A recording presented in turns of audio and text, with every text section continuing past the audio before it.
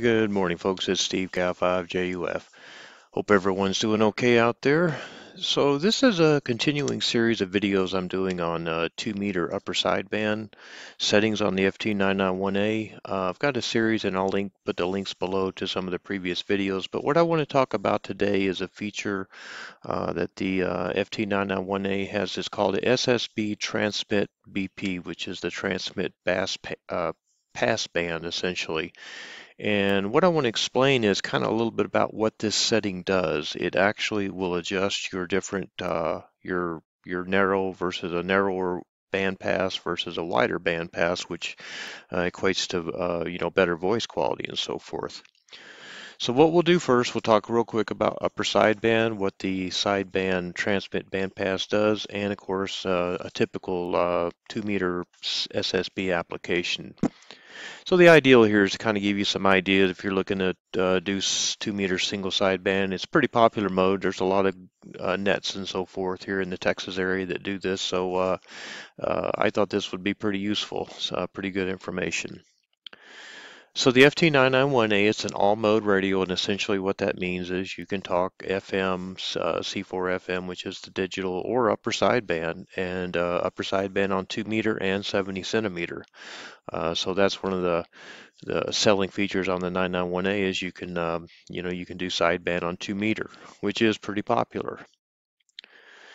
So talking about the transmit pa pass band, what there is is there's essentially five settings in your radio. Uh, the default is going to be 300 to 2700. The settings, uh, the extremes are 400 to 2600 will be the narrowest pass band, and then 100 to 3000 will be the widest uh, pass band. So we'll show you some examples of what that looks like as far as your signal goes.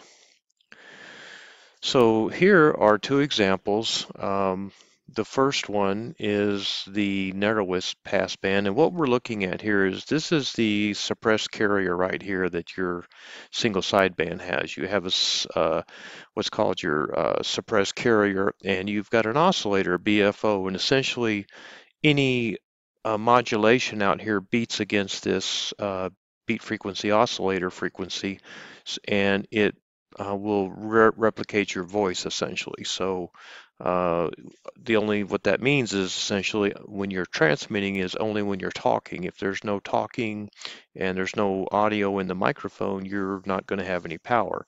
But when you talk or speak into the microphone, that's when your modulation or your power will happen. So uh, if you work with HF a lot, it works the same way. This is just kind of showing you example. The narrower setting is, you notice here this pass band is narrower than what this one is. So essentially what this means is your voice quality here on the 100 to 3000 is going to be much deeper, a richer voice essentially because you're using more of the uh, frequency spectrum versus what you're doing here.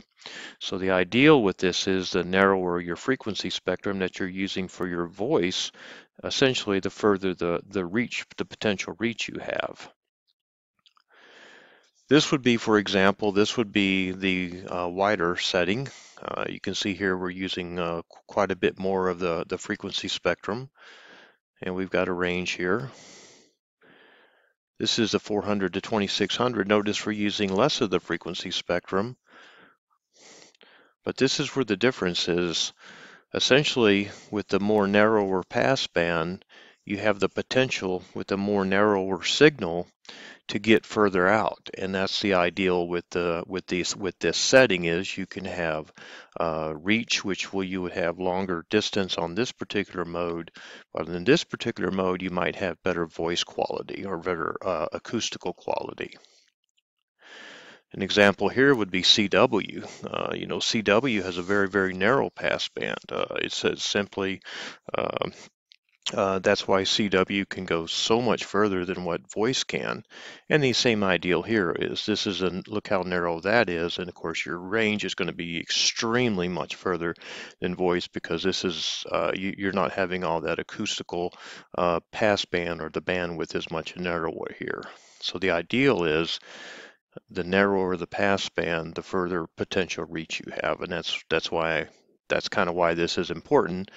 And typically what you want to do is, uh, you know, if you're looking to do long distance two meter simplex, what you might try is to go ahead and give this setting 400 to 2600 a try. Your audio quality of your voice will not be that good.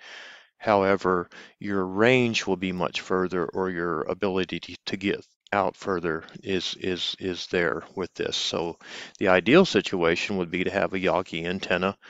Uh, I believe most of it will be horizontal, but you could uh, set up a Yagi and point your antenna a certain direction, and it's very good potential in single sideband. And with this narrower mode, uh, you might make a contact. So anyway, uh, that's pretty much uh, what I wanted to go over. We'll go over to the radio next and uh, kind of give you some demo what this sounds like.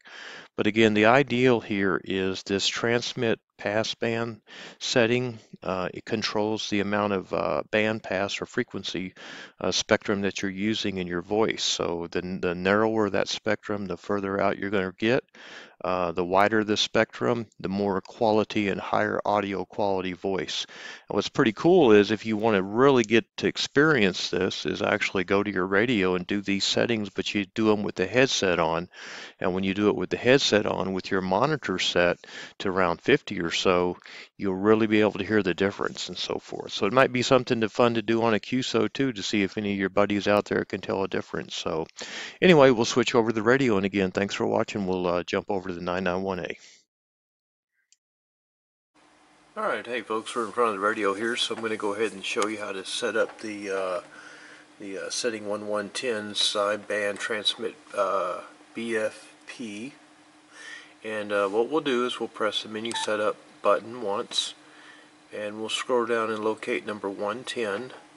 Now the default setting is going to be 300 to 2700, so if you wanted to change that, you would press select and it'll turn violet.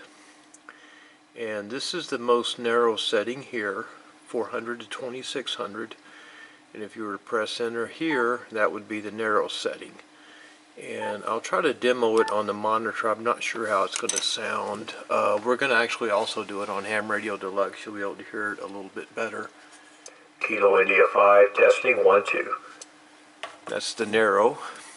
Then what we're going to do is we're going to go ahead and go back and change it to the widest and you're probably not going to be able to hear it very well here but we'll try it.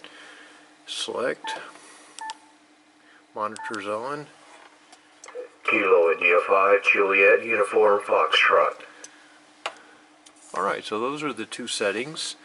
And what we'll do next is again to turn on the monitor what you'll want to do is put your headphones on and uh, turn the monitor on.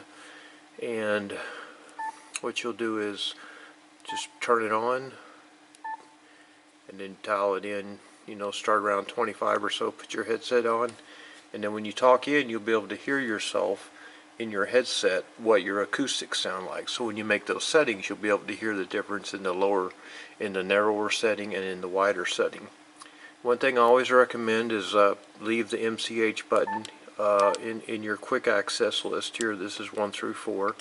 Uh, that way, you know, whenever you go in and make an adjustment, remember whenever you, any function button you touch here that has an adjustment, the moment you touch it, it's going to it's going to show up up here, meaning the multi-function multi knob has control of that particular setting.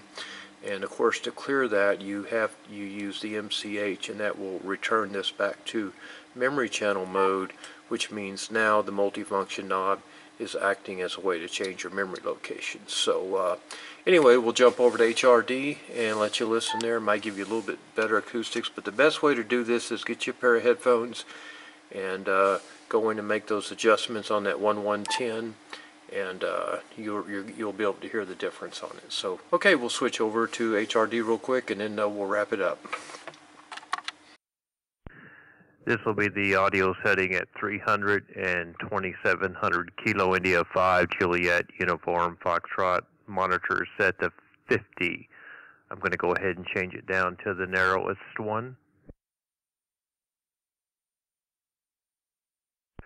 This one's at 400 and 2600 Kilo India 5 Juliet Uniform Foxtrot. This would be for longer QSOs more narrow pass band.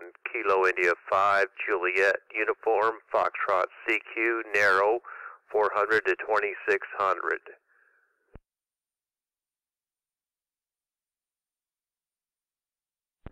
This setting here is 100 to 3000. This is a wider, more acoustical setting for local QSOs. Kilo India 5, Juliet, Uniform, Foxtrot calling CQ 2 meter, and listening for a contact. Kilo India 5, Juliet, Uniform, Foxtrot.